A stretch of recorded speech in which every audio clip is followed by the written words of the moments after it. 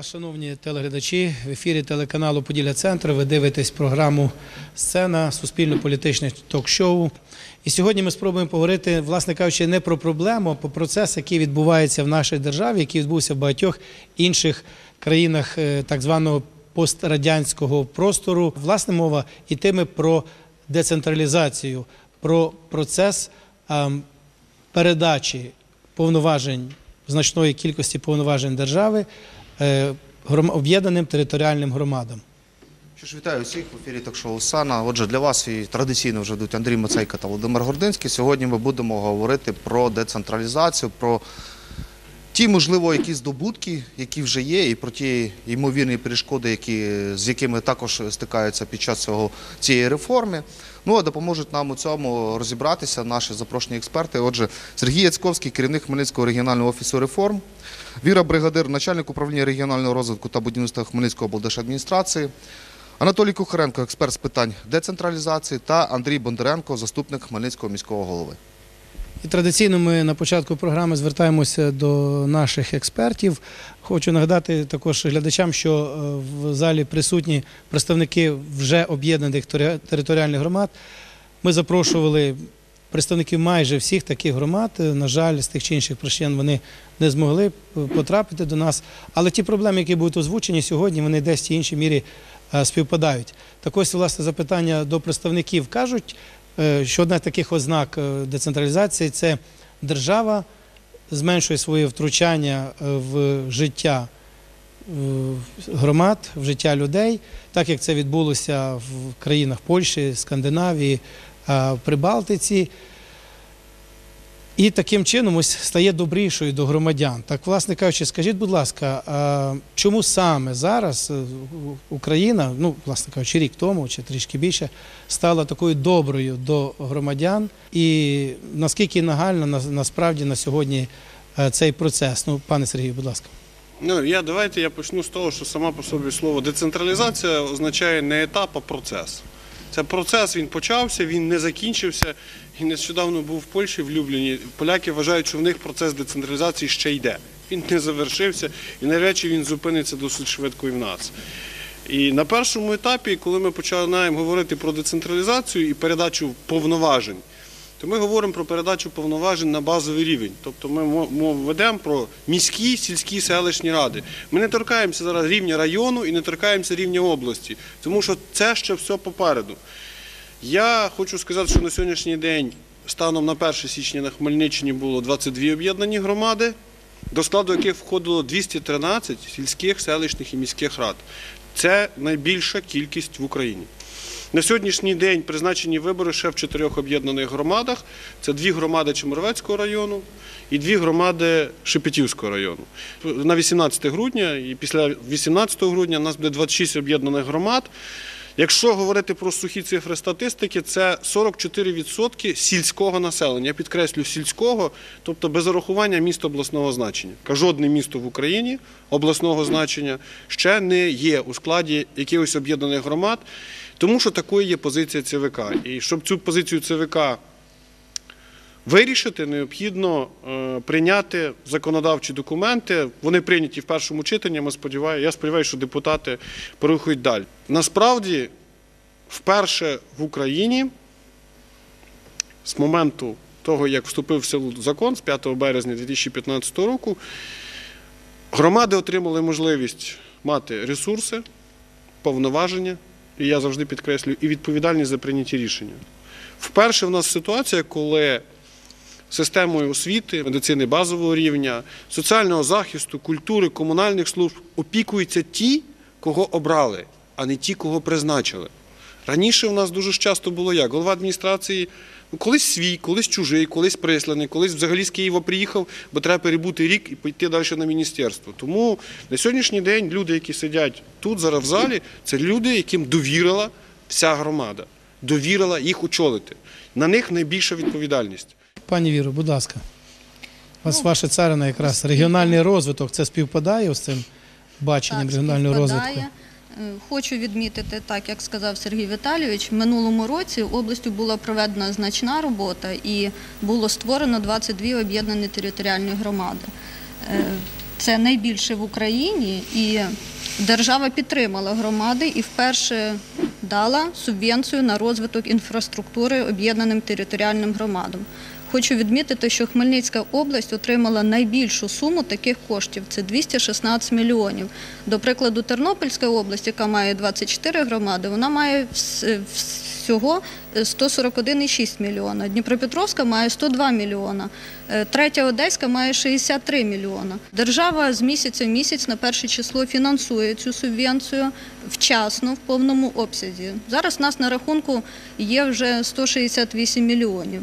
Але оскільки громади створювались в минулому році і в цьому році приступили тільки до роботи, е, на голів громад ну, звалилася велика кількість проблем і питань, які потрібно було сформувати, і бюджет, і всі установи і заклади були передані їм на місця, і ще й субвенція. Тому я думаю, що вони були не зовсім готові до такого обсягу коштів перший рік е, після створення. І на сьогодні є така ситуація, що використання коштів в нас не на найкращому рівні, скажімо так. Е, В цілому по області рівень використання складає майже 34%. Хочу відмітити поки лідера в освоєнні коштів це Волочиська міська об'єднана територіальна громада. Вона на 100% освоїла кошти, які прийшли на рахунок. Цікаво, коштів нема проблема, кошти є теж проблема. Тобто, Завжди. я так розумію, 34% субвенцій використали? Чи це за- субвенції лише? Так? Тобто ми можемо. Якщо- Останніх два транша місячних ще й не прийшли, в принципі, листопадевий і грудневий. ще Але ж е, Це ми можемо лише спрогнозувати те, що на наступний рік ця субвенція буде якраз десь у цих 34%. Е, Тому що, як правило, якщо не використовують, то потім стільки не дають. розподіляється державою відповідно до чисельності сільського населення і до площі е, самої об'єднаної територіальної громади. Оскільки процеси проходять е, і в цьому році, у нас буде створено чотири об'єднані громади, і по всій Україні процеси не зупинилися, оскільки ми були лідерами в минулому році, тому в цьому році нам вже, скажімо так, е, є кого об'єднувати, але в нас процес трошки призупинився.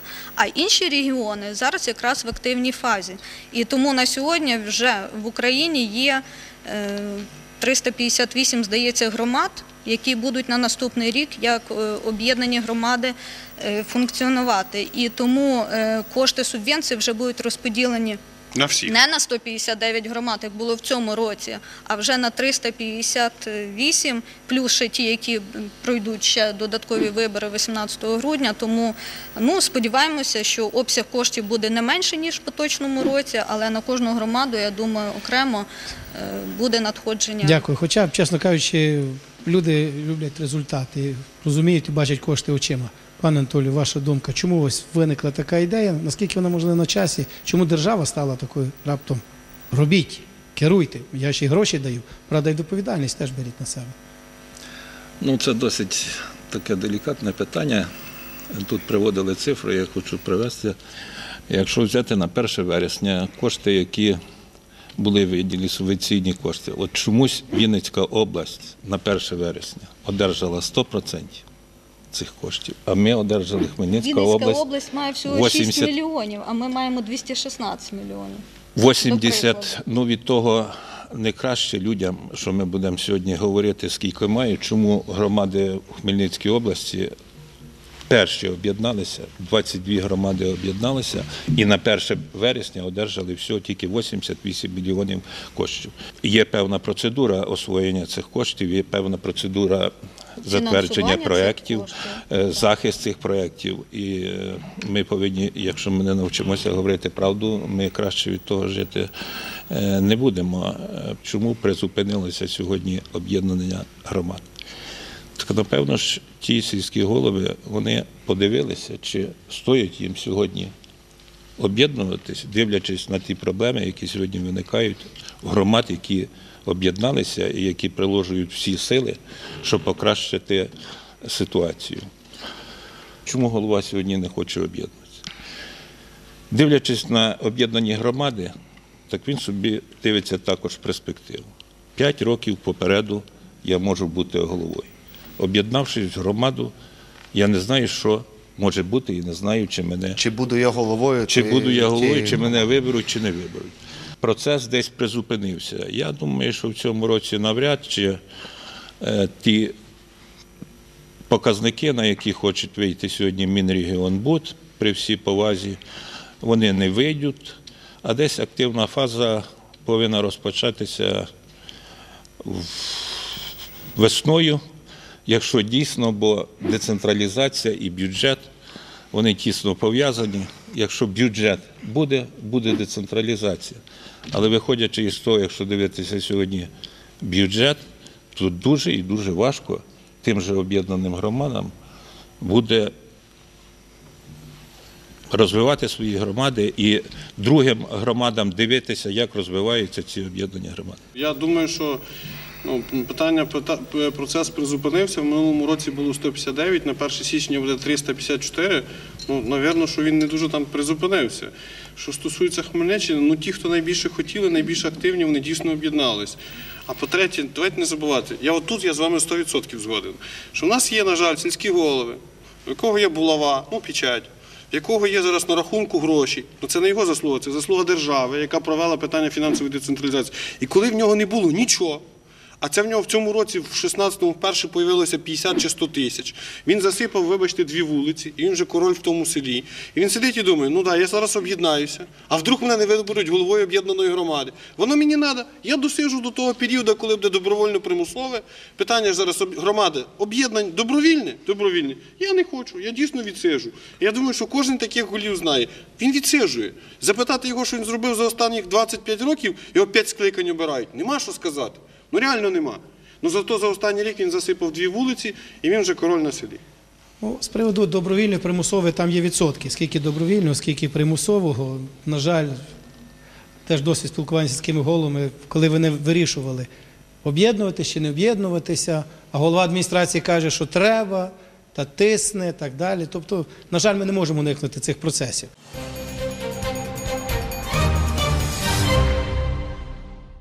Пане Андрію, ви як власне заступник е, з фінансових питань розумієте плюси і мінуси, чому власне чому Хмельницький так не дуже тяжко хоче підтягувати під себе, чи навпаки хоче підтягувати під себе найближчі села, і які від того є плюси? Ну, напевно, що е, обласні центри це той приклад, коли децентралізацію люди відчули найкраще. Ну, е, я хочу сказати, що лише в цьому році ми плануємо додатково залучити до бюджету 250 мільйонів гривень у порівнянні з минулим роком. Левова частина цих коштів це е, передусім. Е, Ну, ми можемо зав- завдячити децентралізації. Ну, але якби не- все так. І частина коштів це, е, це результат роботи і влади, і податкової, і пенсійного фонду. У нас дуже добре працює робоча група з деталізації зарплати. Е, Ми попрацювали з забудовниками. Ми додатково в цьому році отримуємо, ну, напевно, понад два десятки мільйонів від пайової участі. Ми, ми заробили вже 13 мільйонів на е, депозитах в банку. Е, От саме завдяки і децентралізації таким заходам е, громада Хмельницького можуть відчути, якби що, що таке децентралізація значить конкретно для міста Хмельницького. У нас е, фактично вдалося в цьому році визначити і реалізувати пріоритети по основним галузям. Це житлово-комунальне господарство, це ремонт доріг, на які втричі більше грошей виділено ніж в минулому році, і прибудинкові території. В медицині це забезпечення медикаментами, які на які гроші в три рази більше виділено. Це і закупівля тролейбусів, е, це і е, будівництво одночасно чотирьох дитячих садків. Тобто децентралізація на прикладі міста дає, дає свої плоди. От єдине, що звичайно, ми не з усім не з усім погоджуємося. Є ризик, що в в наступному році. е, Весь цей процес по відношенню до обласних центрів буде нивельований, оскільки на нас передають нові повноваження. Е, Це і енергоносії в освіті, е, в охороні здоров'я. За рахунок субвенцій тепер буде е, оплачуватися тільки заробітна плата працівників освіти. Так само на нас вішається ПТУ, так само на нас е, пільговий проїзд. Тобто це ті закони, які приймала держава, ці пільги давала держава, на нас їх зараз вішають. Пільговий Так. проїзд повішали, як ви кажете, вже цього Да. року, і ви погодились з цим. І міська рада виходу. виділила гроші на У нас не було виходу, і ми далі будемо виділяти гроші, тому що це наші мешканці. Хоча це неправильно. Це пільги, які е, затвердила Верховна Рада. Ну, Або- або в впорядкуйте написано, що якщо держава приймає якісь рішення, вона повинна їх підкріплювати фінансами. Це норма. Тобто, у нас, на жаль, депутати позанімались популізмом, понаприймали масу рішень, а потім сказали, давайте от місто Хмельницький платіть за те, що ми там прийняли рішення. Але разом з тим зараз само- місто Хмельницький ставить в приклад. Да, але ви розумієте, от коли міжрайонні перевезення починаються, одна громада дала, умовно кажучи, там 20 гривень на людину, друга 30, місто Хмельницький 50. От як цьому перевізнику, умовно кажучи, він в сусідній район переїхав і що? Двох чоловік має висадити або сказати, доплатіть, бо в цьому районі мені вже не компенсують. Тобто насправді це має бути рішення загальнодержавне. Я абсолютно погоджуюсь. Питання перевезень треба вирішувати там, і воно має бути рівноцінне для всіх. Якщо ви зобов'язуєте місцеві бюджети виконувати свої рішення, то запроваджуйте компенсатори. Віддайте 5% прибуткового. Зараз 60, дайте 65. І всі будуть согласні. І встановіть норму, що за рахунок цих 5% компенсується то-то, то-то, то-то. Віддайте місту е, обласному центру не 5, а 10 і віддавайте йому так, як ви плануєте, всю профтехосвіту. Ні питання. Місто візьме. Воно знає, що зробити з профтехосвітою. Ну дайте йому компенсатор. Це ж логічно. А в нас, на жаль, е, підхід Мінфіна такий: ага, в громад є гроші. От ще зараз озвучили, от там на рахунках куча денег, все, вони дуже багаті. Ну, але погодьтеся, ну дивіться, хто знає, що таке фінанси, розуміє, що є помісячний розпис. Не, не всі податки платяться в січні, і, соответственно, не всі гроші використовуються в січні. І це нереально. Якщо місто Хмельницький має якусь суму грошей на рахунку, а вони заплановані на використання, умовно кажучи, в липні місяці, то що краще, щоб вони три місяці на рахунку лежали, чи три місяці на депозиті, і за рахунок цих коштів буде зроблено ще щось. Подивимося, чи воно це ж питання використання ефективного. Ми говоримо про фінансовий менеджмент. У нас деякі патріоти взяли це на ура. Давайте от гроші на депозитах, все, Мінфін, а в них є деньги. Рубаємо.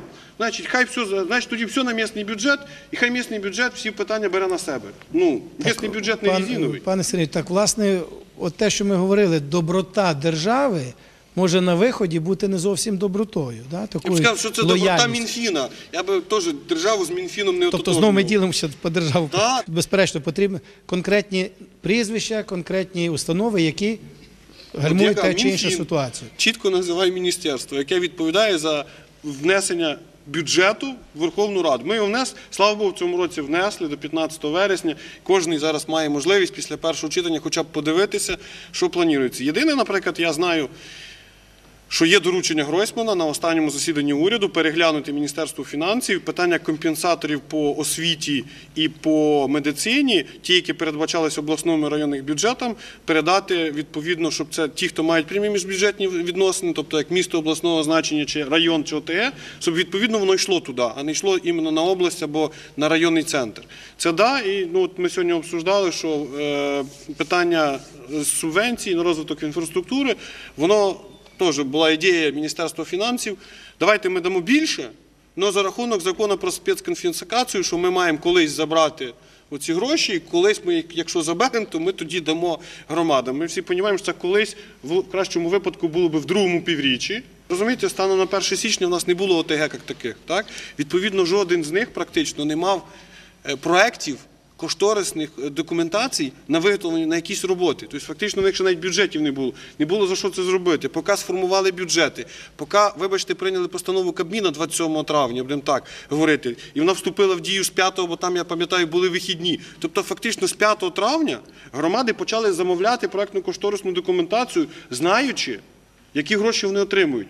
Тому що закон України чітко говорить, не можна брати на себе бюджетні зобов'язання, не маючи бюджетних призначень. Відповідно, поки жодний з представників громад не знав, а мені заходить 10 мільйонів, він не мав права замовляти під це. Замовили.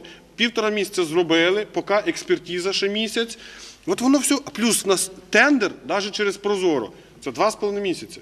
От з половиною. У нас фактично більшість тендерів, от люди не дадуть мені збрехати. Вересень, жовтень. Закінчу, от, відкриття тендерів. Того, мабуть, зараз є така ситуація, що якщо я не помиляюся, Володимир Клинченко, е, заступник голови облдержадміністрації, озвучив нещодавно таку цифру, що на рахунках ОТГ зависло майже мільярд гривень. Ну, не, не Хмельницької області. Можливо, він в загальному говорив, але так, в Україні. От можливо, саме через це і зависли ці гроші, тому що А якщо, використати було е, неможливо. Умовно кажучи, приходять планові ресурси, наприклад, на там, водогін да, чи на ще якісь речі, а паралельно йде тендерна процедура цих два з половиною місяця. Гроші то приходять щомісячно. Вони приходять. Ну, тендер відкриють, умовно кажуть, 8 жовтня, ще 10 днів на заключення договору, і після цього перерахується аванс. аванс 30%, Тобто, відповідь... А не всі роботи почнеш робити в жовтні. Е, Шановне товариство, знаєте, дуже круто, але складно.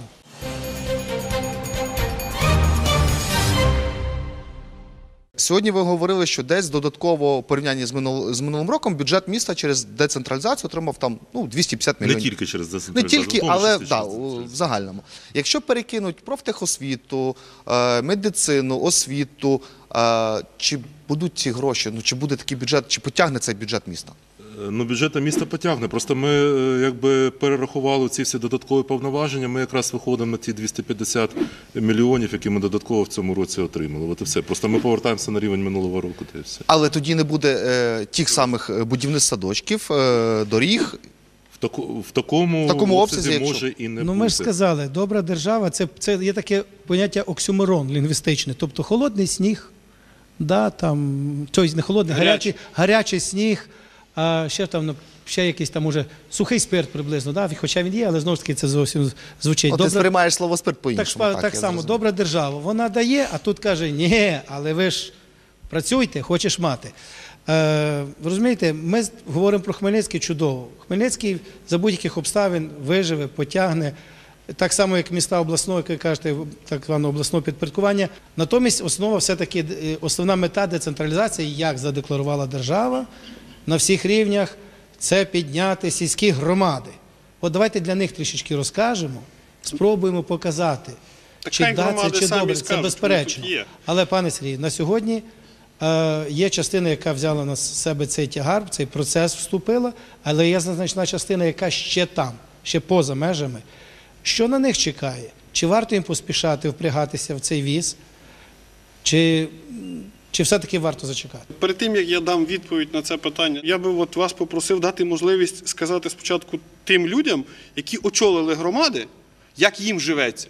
Бачу, е, хоче голова об'єднаної територіальної громади, не знає якої щось Ну, сказати. ну, Дай, будь ласка, нова мікрофон. Ушиця. Ну це завжди ж це, це, це золотий край. Ми ще не знаємо про це. Дякую. Розумієте, що безперечно е, Олег Васильович Московчук, голова Научської об'єднаної територіальної громади. Я є новообраний головою е, після виборів. Зрозуміло, для нашого району це об'єднання є позитивом. То, що район е, сьогодні сільськогосподарський і коштів, які би надходили до бюджету, зрозуміло, завжди не, не, не вистачало. Ті надходження, які були вливалися з державного бюджету, з- фонду регіонального розвитку, з обласного бюджету, їх не було достатньо для реалізації тих проєктів. Отримавши 22 мільйони, ми сьогодні реалізовуємо ті проекти довгобуди, які роки їх ніхто не міг реалізувати, коштів зрозуміло завжди не вистачало, і люди це побачили. І для нас це був позитивом. І я дякую керівникам, які провели роботу в районі, які змогли донести до людей, що це є позитивом, це е, перспектива розвитку нашої громади. Ми сьогодні достатньо коштів субвенції на освіту, на закупку спецтехніки, на ремонт тих приміщень, на вуличне освітлення. І люди бачать, е, кошти по всій громаді задіяні.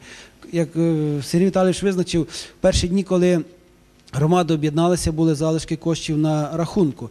І у нас був збалансований бюджет, і ми могли в перші дні самостійно розпоряджатися своїми коштами.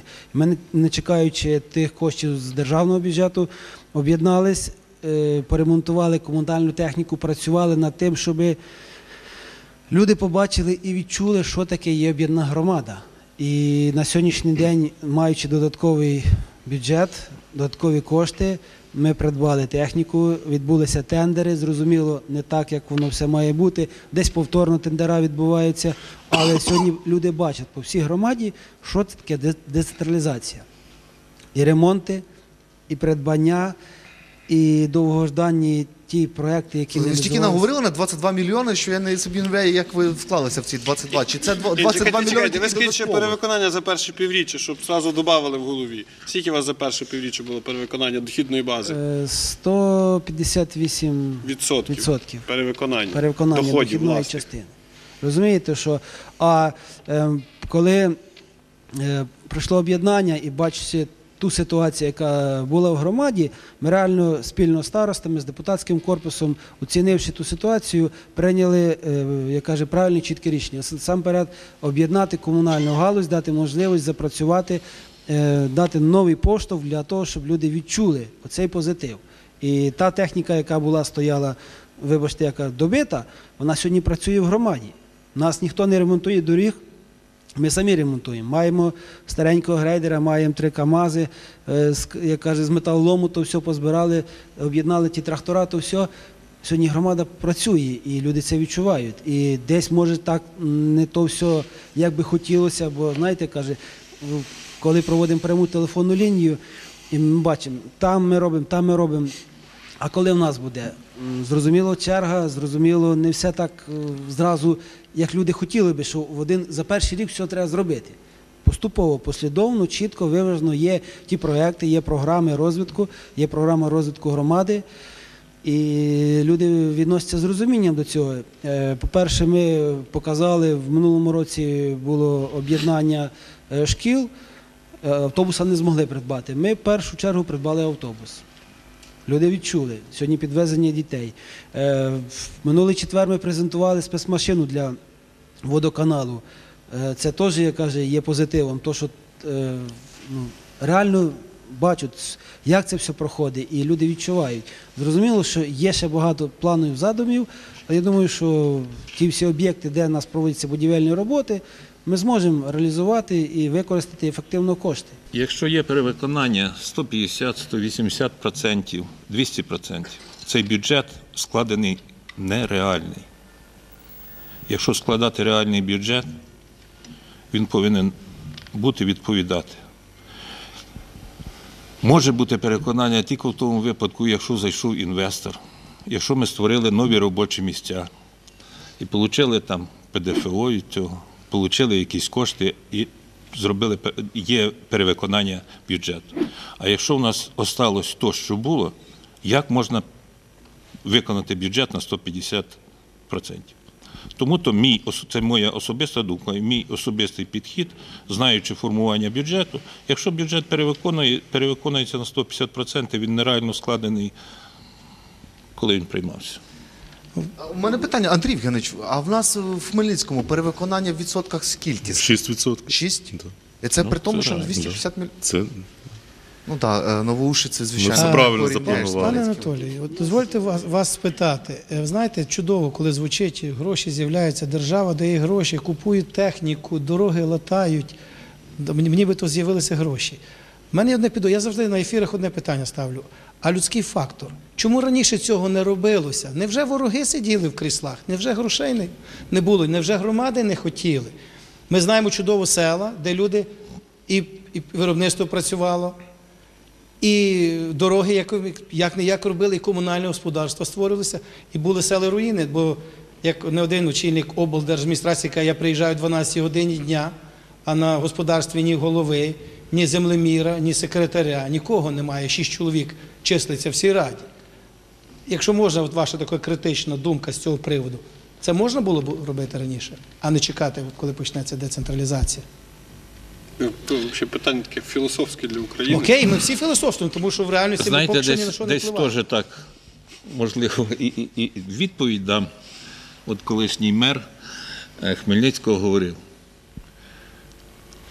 починаємо, якось буде, а потім говоримо. Ми так і знали, що так воно. Ну так, да, можливо, було десь відкрити для України трошки світ, адже весь світ живе Ні, так я вам риторичний вопрос задам. Чому Януковича 4 роки терпіли? Ну, як ти Ну, це стосується, я вам скажу, будемо Це так то казати, саме. багатьох чиновників високого рангу. От того самого і Да, не починали. Але м, таке життя. Питання не про це. Чому раніше, будемо казати, сьомий, восьмий, хай буде так, десятий, одинадцятий, дванадцятий рік не, не робили цього, не, ро- громади не робили цього. Я маю на увазі не децентралізацію, а не покращили своє життя. Я от мені цікаво. По-перше, в сільських радах не було нічого. В деяких були садики, в деяких клуби, і то не в кожному районі. Було таке, що садики в районній власності, було таке, що будинки культури навіть в районній власності. У нас не було стандарта для всієї України, тобто як де фінуправління спрацювало. Але я вам наведу приклад. Раніше, якщо в школі прорвало трубу, причому хорошо так прорвало, качественно, і треба 1100. То для цього е, начальник відділу освіти писав листа на ім'я голови адміністрації з проханням, щоб голова адміністрації написав листа на ім'я голови районної ради, щоб скликали позачергову сесію, щоб на цій позачерговій сесії виділили гроші, наприклад, з резервного фонду. Сесія збиралася там через 3, 5, 10 днів, виділяла гроші, потім оформляли казначейський запит і в ітогі до ремонту труби приступали ну так через місяць, в лучшому случаю. І це ж поїдьте в села, вам це всі підтвердять. На сьогоднішній день, коли я говорив, що влада повноважені ресурси в одних руках, так вони в одних руках. Вони насправді сьогодні кожен з голів громад приймає рішення в себе на сесії про виділення і використання даного ресурсу. Це всі ті самі речі робляться, умовно кажучи, в 10 разів швидше. То, що кадрові, кадри рішають все, ще сказав покійний Сталін. Ніхто цього не відміняє. І це да, це проблема. В кожній з голів громад вам зараз каже, що проблема є з кадрами. В якомусь напрямку фінансів, в бухгалтерії, в управлінні комунальним господарством. У нас на селах фахівців різко більше не стало. Ми от сьогодні говорили на базі інституту підвищення кваліфікації, наприклад, е, офіс реформ спільно з е, е, інститутом управління і права. Ми старост всіх новообраних вчили. Юристів по три дня, мінімум по три дня, вчили. Е, Землевпорядників вчили, секретарів збирали, голів збирали, я вже не пам'ятаю, там е, бухгалтерів збирали. Тобто навчання проходяться постійно. Але і Україна отримує вперше в 2015 році цей досвід. Для України він ж теж новий. І тому зрозуміло, що коли ми вчимо, ми ще й самі трохи десь вчимося. У 2006 році в Голландії було прийнято рішення, яке теж децентралізовано, про те, що громада є Голландія, маленька країна, вважає, що громада буде ефективною тільки якщо там проживає 20 тисяч населення. Вони розуміють, що ефективна громада це громада потужна фінансово.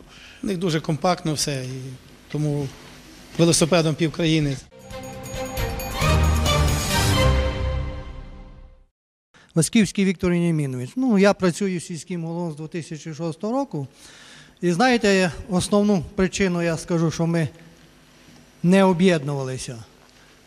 Ну, було нас управління, так сказати, районне. Всі тут сидячі голови, тут, що зараз працюють, знаєте, які в нас були надходження? 25% нам поступало із прибуткового, і вже десь в кінці 8-9 року нам плата за землю поступала 40%, вже пізніше, в 2010 році, нам стали давати 100% плату. Нас бюджету зовсім не було, і ми були всі залежні від районної влади. І ми ходили, просили, клянчили, і цього кінця ми не бачили. Оце ми завжди ходили, писали бумажки, як не одну інстанцію, то в другу. І бажання об'єднатись тоді не було. До речі, скажу, що ми об'єднались без примусу. Дійсно, у нас е, знайшлися в нашій громаді ті люди, які були зацікавлені, об'єднані, прочитали цей закон про добровільне об'єднання громадян, і ми саменькі вирішили об'єднатися. Без райдержадміністрації, без районної ради, які до сьогодні вони не особливо районні ради не дуже раді, що ми об'єдналися.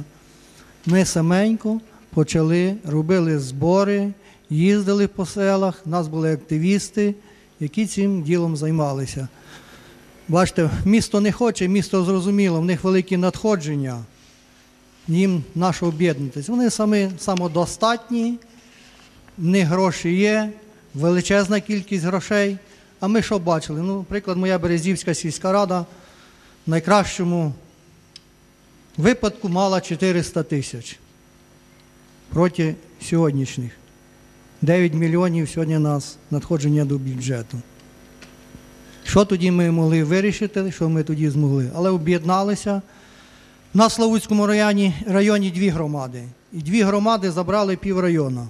Було 36 сільських рад, а лишилося зараз в районі 16. І в нас сьогодні бюджет в 2-3 рази більший за районний.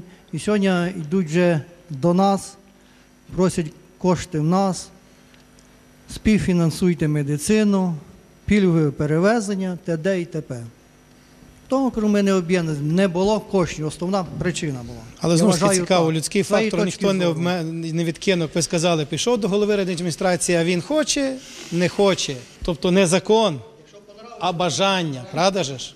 Напевно, об'єднані громади, все ж таки, то, що яка ціль ставилася, пам'ятаю, у 2008 році, коли почали ми з Анатолієм Ткачуком їздити по Хмельницькій області, от наблизити послуги до населення. Да, ми говорили, бюджети були, в сільських рад, там, селищних вимагали оці послуги робити для населення, а коштів не було.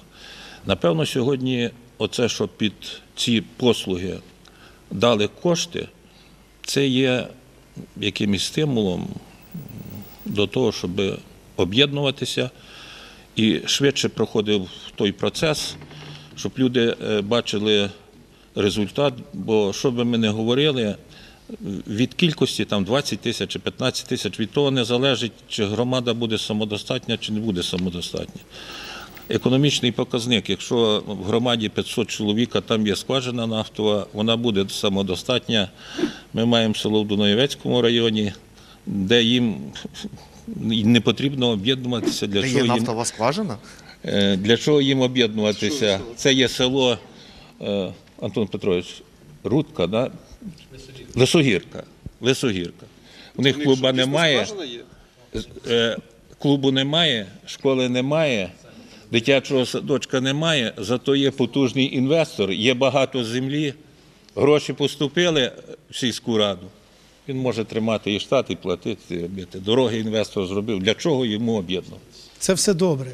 Але чи є- не є підозра, чи не є побоювання, що ці маленькі села, колись в 50-х роках, здається, в 60-х було так зване укрупнення колгоспів. Тоді радянська влада зробила. Були бригадне село, центральна садиба, але в бригадному селі ще був. Якась бригада працювала там, вирощувала капусту, гірки, щось таке, може, якийсь садочок, була робота. Потім, коли померли колгоспи, бригадні села, що теж, а майже померли разом з тим, бо центральній садибі хоч щось робилося ще. А там вже все, нічого, не потрібно. Ні ФАПа, ні лікарні, ні садочка, хоча там ні магазина, куди під, підвозили раз в тиждень під водою хліб і, чи якісь мило, сірники. Чи нема загрози та, зараз для сіл тих невеличких? Адже вони залишилися. І, власне кажучи, їх, щоб реанімувати, тут вже невідомо, яка реформа потрібна, які кошти. А е, ви вважаєте, що реанімувати це село держава повинна за власний ресурс? Тобто не створивши умови, а просто давши гроші? Ну, як на мене, е, весь світ Ні, говорить ну, про те, що ми безперечно, повинні... можна катком зрівняти всі Ні-ні-ні, це і зробити ні, все, щоб ну, люди звідти виїхали. Це ви так хочете. Я, Я- хочу я так не хочу. Я хочу, щоб ці села розвивалися. Я навпаки вважаю, що таким селам треба давати удочку для того, щоб вони собі ловили рибу. Бо якщо ми просто дамо гроші, закатаємо там все асфальт, це ще не значить, що це село буде далі розвиватися. Від того, що там просто з'явиться асфальт. Ми от повинні створити умови, щоб там з'явився інвестор. Тому що коли ми говоримо, що в цьому малому селі нема школи, нема садика, так там дітей нема. Там починати треба, що там нема школи, нема садика, там нема кому туди ходити. А чого нема кому туди ходити? Бо там нема молоді. А чого нема молоді? Бо в молоді нема роботи. От давайте будемо починати з кінця. Значить, треба створити умову для інвестора, який б з'явився і прийшов в це село. Завдяки цьому інвестору з'явиться робота, і далі піде все те, що я назвав. І ви знаєте, я вам скажу, є таке, наприклад, село в Тернопільській області, здається, Лосятин, якщо- я не помиляюсь. Вони останніх два роки займають село. Вони займаються вирощуванням, створили сільськогосподарський обслуговуючий кооператив. Займаються вирощуванням клубніки і малини. Е, вони здають е, на два німецьких виробника і на одного українського виробника його. Самі приїжджають. Я вам, знаєте, всім задам питання. Скажіть чесно, от цьому селу, в принципі, як ви думаєте, не все одно, хто в нас там голова районної адміністрації в них. Їм, я вам скажу більше, їм дійсно все одно. Їм головне, щоб їх не трогали. Але в них є робочі місця, в них є умови, є можливості, вони розвиваються. В цьому селі будується школа, і вони входять до складу об'єднаної громади. Але почалося з того, що не держава створила їм умови. Якщо ми вже так починаємо говорити з кінця, то давайте почнемо з того, скільки картоплі кожен з вас просадив на присадибній ділянці. І чи хто-небудь скаже, скільки стоїть у вас кілограм картоплі? От хтось. 90% картоплі забезпечує приватні господарства в державі. ні, ні. ні. Скільки коштує скільки- скільки коштів кілограм картоплі на вашому городі? Ви хоч раз рахували? Рахував? Ну добре, а спитаємося ще когось, чи ще хтось рахував. Насправді в нас, я, ну я ж теж з села, ну з Чемірос, в мене теж є 5 сотих. Я знаю, що навесні я спускався в погреб, доставав відро і починав цю картоплю скидати, щоб потім винести на гноярку. І разом з тим, якби я на цих самих 4 сотах, що в мене біля городу, посадив ту саму малину.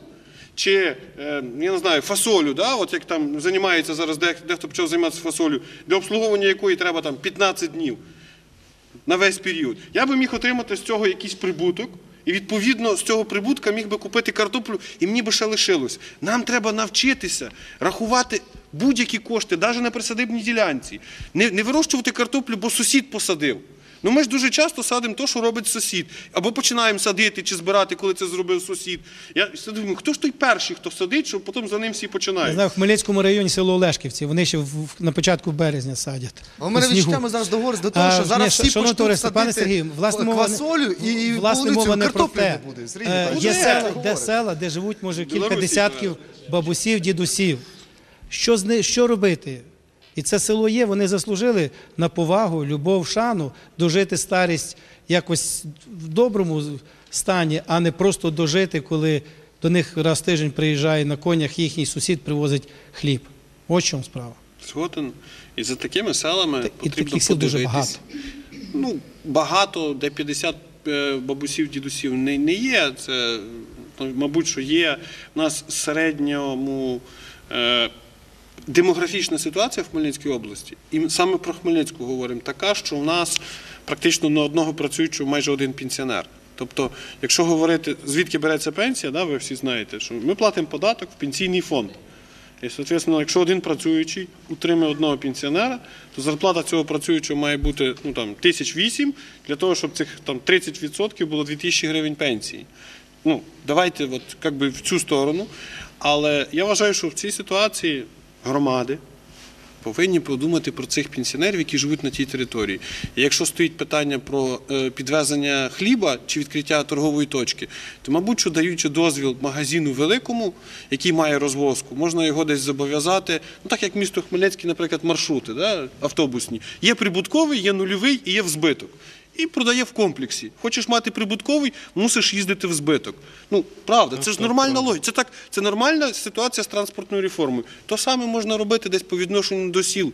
Зрозуміло, що сам держава хліб туди возити не буде. Ну, нема вона ні можливості, вона його не пече, вона його не робить. Держава повинна створити, чи органи місцевого самоврядування. Це вже не держава, це інститут інший. Повинні створити умови, щоб там цей хліб з'явився. Щоб туди їздив рейсовий автобус, щоб люди мали можливість якимось чином доїхати до найближчої точки. Це етап, це процес, це не робиться отак. От.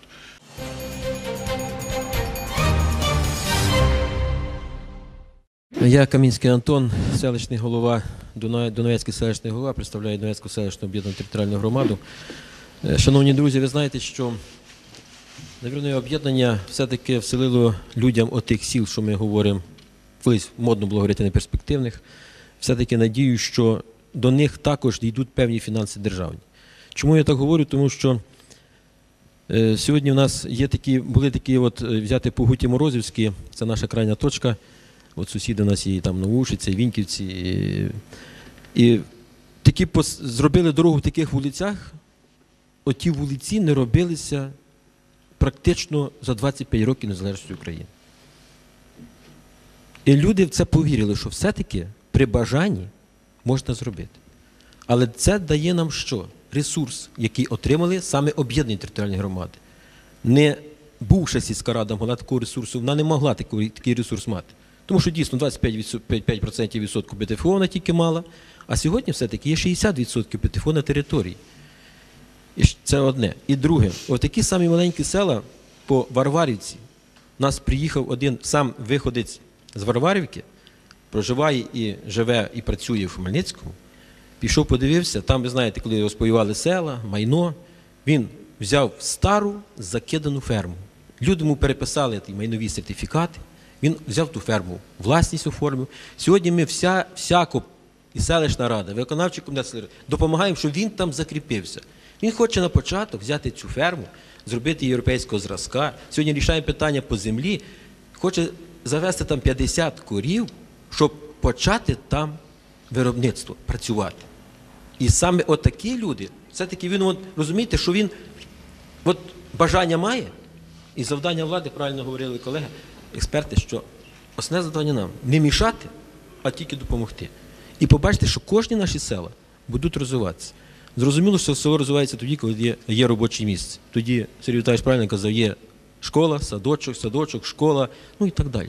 Є кому спортивний зал зробити, і це воно станеться. Сьогодні наша громада дуже, ви знаєте, багато, багато питань потрібно вирішити комунального, е, скажімо так, характеру. Якщо сьогодні в громаді ми утримуємо в громаді 214 кілометрів доріг, це комунальну власність, які в нас на балансі.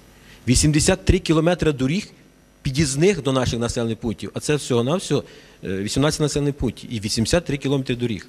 І на ці дороги, під'їзні до населених пунктів, які знаходяться на балансі облавтодору чи служби автомобільних доріг державній власності. І ніхто, держава на ці дороги ні копієчки в цьому році не дала. Ну так, програма працювала 50 на 50, і ми з двого бюджету також дали 400 тисяч, і облавтодор ці дороги поремонтував. Тобто це ще один аспект тому, що альтернативи об'єднанню на даний час немає.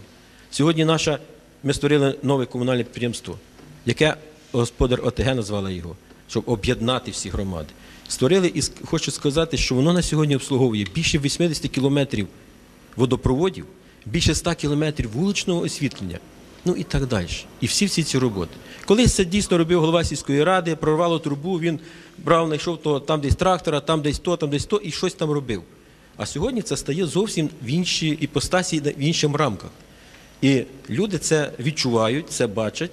От, і я думаю, що саме, я не думаю, я впевнений, що об'єднаних громад сьогодні держава дійсно колосальний ресурс викидає. І я думаю, що воно все нас, все нас от вийде. Якщо ми будемо єдині і разом стукати в одну точку. Лариса Мельник, представник громадської організації Майдан Хмельниччини і освітянка. У мене буде декілька реплік стосовно першої. Взагалі, історія України є дуже цікавою і неоднозначною. І в ході історії відчуджувалося українець від власності, від власності приймати рішення, від власності, де він визначав свої перспективи і мав можливості. Мабуть, філософія все-таки територіальної реформи з батьками цієї територіальної реформи, які вивчали досі 20 майже років тих країн, які можливо швидше розуміли цінність людини, тому що коли ми говоримо, що в основі філософії територіальної реформи лежить цінність, а не надання послуг. Цінність людська вона пов'язана з тим, що її не перетворюють в можливість товару, а про неї дбають. Як можуть дбати? І в мене якби питання освітянки. Якщо ми говоримо про можливості і ресурси територіальної громади, то перш за все потрібно розуміти, що е, ефективні менеджери дуже важливо, е, щоб вожаками були голови територіальних громад. Ми можемо пригадати для того, щоб гетьмана обрали тричі йому пропонували, і на третій раз, якщо він розумів довіру громади, і йому громада довіряла всі ці перспективи, то, то, то тоді б ми і, мабуть, сьогодні не говорили, що всю націю відчуджували від розуміння своїх можливостей. А тепер ми раптом хочемо, щоб громада стала активною.